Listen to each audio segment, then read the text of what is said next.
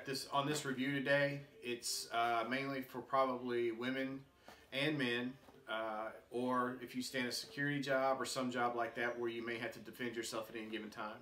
This is going to be a good tool to keep maybe in your vehicle and bring in when you get home to uh, recharge. Uh, what I have for y'all today is the Lightning Rod Stun Baton from Streetwise. This, we bought these about six months ago when uh, we started working uh, security and uh, delivering uh, canines and stuff to other parts of the United States.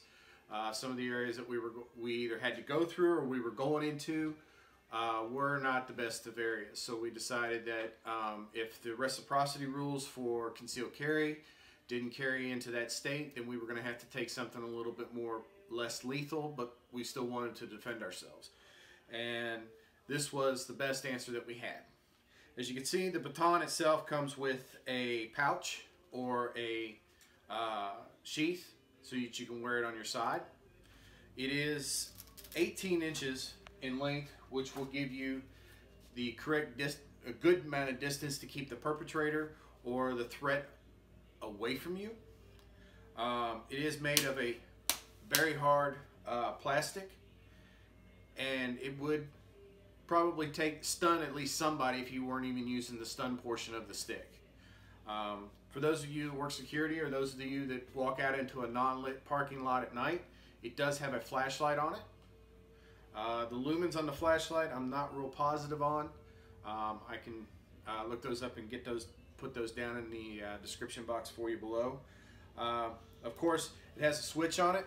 The first switch activate the first click activates the flashlight. The second activates the red the red light on it. When the red light is lit,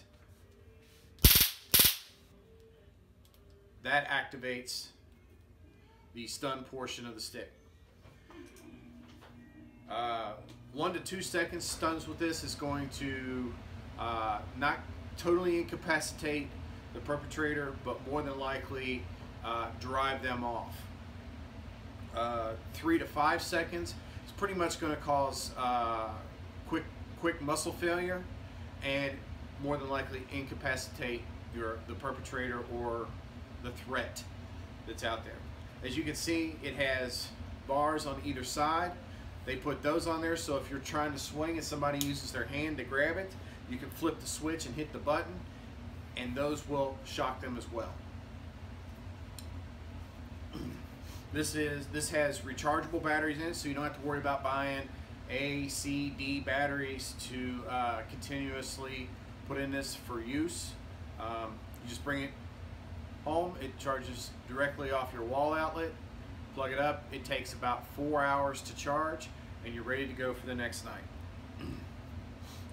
uh, we use these for, again, personal protection uh, especially when we're going into uh, some states that do not accept concealed carry reciprocity laws, reciprocity. Uh, so we carry these in the vehicles. Um, I haven't carried this on my job uh, just for the simple fact that I can uh, conceal carry. So there you have it, the Streetwise Stun Baton. Uh, we give it a full four stars as far as uh, self-defense. We have not found anything that is that could be wrong with it or anything of that nature. Um, if we do, uh, we'll submit an updated video. But as of right now, Streetwise Stun Baton from Amazon, pretty cheap. Link in the, in the description below. Uh, we give it four stars. As always, uh, please like, share, and subscribe. Uh, don't forget to check out our Facebook page, Anchored Lives. There we'll be posting uh, videos and updates to what other things are coming. Thank you. Have a blessed